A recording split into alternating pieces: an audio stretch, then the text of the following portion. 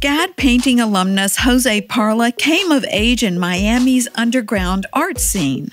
He might be best known for his 90 foot mural, One Union of the Senses, that greets visitors of One World Trade Center in Manhattan.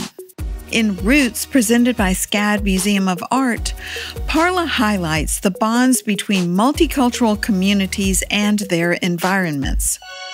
So, José, thank you so much for being here. I think about walls when I think about your work, other people's walls, and you're creating your own walls now with your work? I grew up painting on walls and not only painting on them, but recording them and photographing yes. them. And I would also enjoy photographing the ones that looked like the most neglected walls, the walls that had political writing or that they were falling apart and you could see the layers of its colors torn and, and, and with posters ripped. And I, I really like that sort of a psychogeographical framework, of fragments throughout different cities that I saw, a sort of linear storyline that I could draw inspiration from. Walls have always been the first point of departure for inspiration for my work. It seems like you've done so much improvisation in your career. When I was imagining you jumping, I thought maybe you had mattresses or something to jump on, but you were literally mark making with your body. It was on impulse. Uh, I felt this kind of like synesthesia going through me, and you know, I grew up dancing as well, so I bring a lot of that into the painting,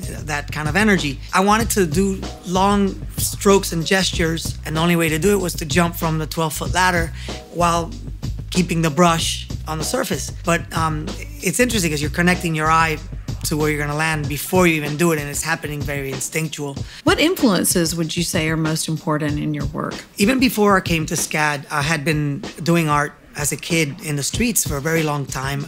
I was born in Miami, but at the age of one, my family moved to Puerto Rico. And we returned to Miami, basically 1982. So you had kids from Latin America, South America, Colombians, Venezuelans. There was a really big melting pot happening in Miami.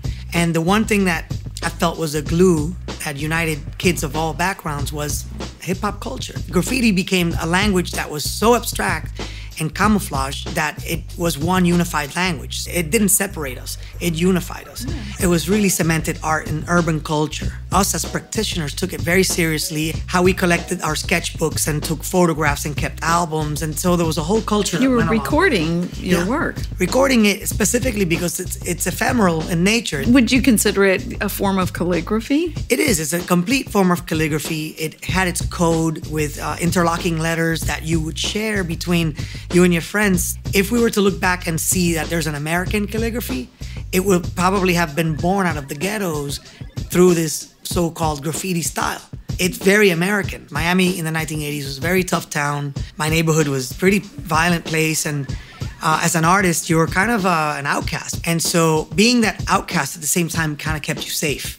So, the art saved us along the way in many places, and and it saved me a second time when I was awarded the Scholastic Art Awards that led to the Francis McCummon Scholarship that brought me to SCAD, which changed my life to be able to have the education and catapult into what I was to do.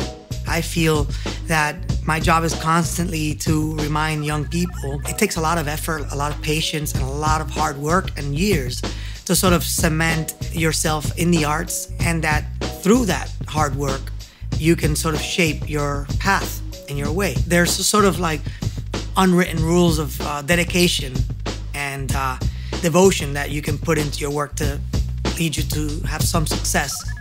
And that's my message.